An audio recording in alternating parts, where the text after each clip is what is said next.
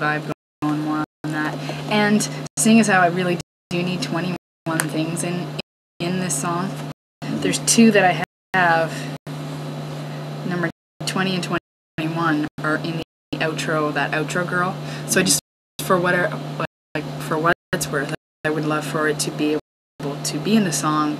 So if we fade it mm-hmm. and it's later, depending upon where we fade it, we may have to push it forward. Okay. But that we can worry about right when we're deciding where the fade comes.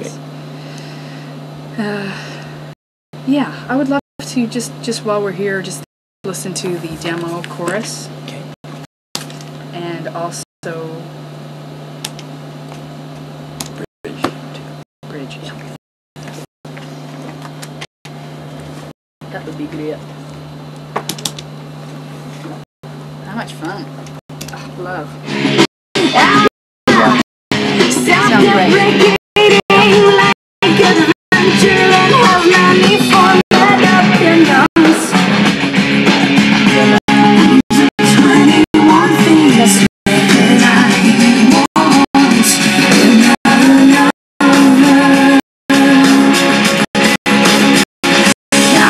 sincerely